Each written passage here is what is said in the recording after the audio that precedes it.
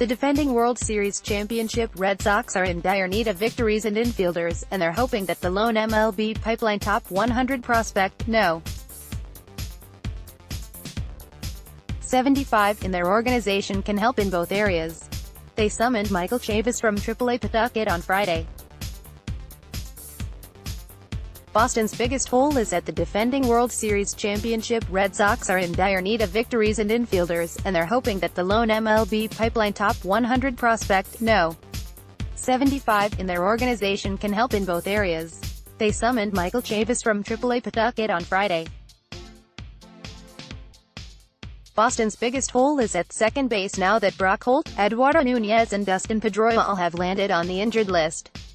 Though Chavis began playing second base for the first time as a pro this April, Red Sox manager Alex Cora told reporters that the club will give Tzu-Wei Lin, also recalled Friday, most of the at-bats at the position until Chavis gets more acclimated there.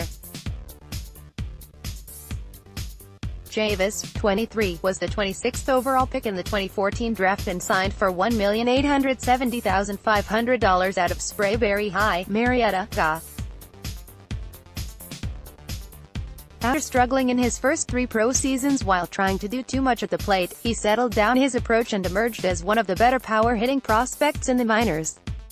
Red Sox top 30 prospects list he finished third in the minors in extra base hits, 68, and fifth in homers, 31, in 2017, but Chavis tested positive for a performance-enhancing substance during the off-season. He said he had no knowledge of how dihydrochloromethyltestosterone got in his system, though that had no bearing on him serving an 80-game suspension to begin last season. Once he returned, he batted .298, .381, .538 with 9 homers in 46 games, mostly in double-A.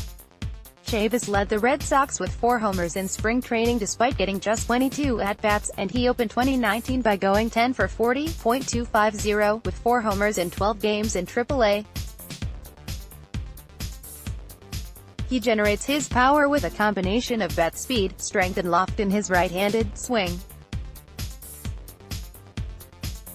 Chavis fell into the trap of trying to swinging for the fences early in his pro career and started to find success after improving his pitch recognition and two-strike approach while also doing a better job of using the entire field. His walk and contact rates have improved as he has risen through the minors. Though Chavis signed as a shortstop and played there in his pro debut, his below-average speed necessitated a move to third base during instructional league in 2014. He has worked hard to improve his agility and athleticism, becoming an acceptable defender with solid arm strength at the hot corner. Because the Red Sox have 22-year-old Rafael Devers at third base and another slugger at the position coming up behind him in Bobby Dalbec, they began playing Chavis at first base in 2017.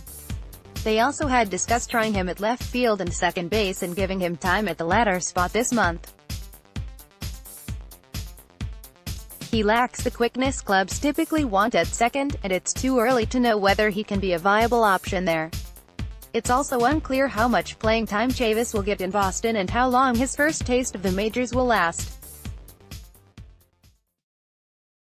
If he were to receive 400 at-bats, he'd be capable of posting a .260, .330, .480 line with 20 homers.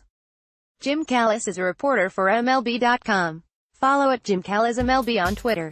Listen to him on the weekly Pipeline podcast. Read more, let's block ads. Why?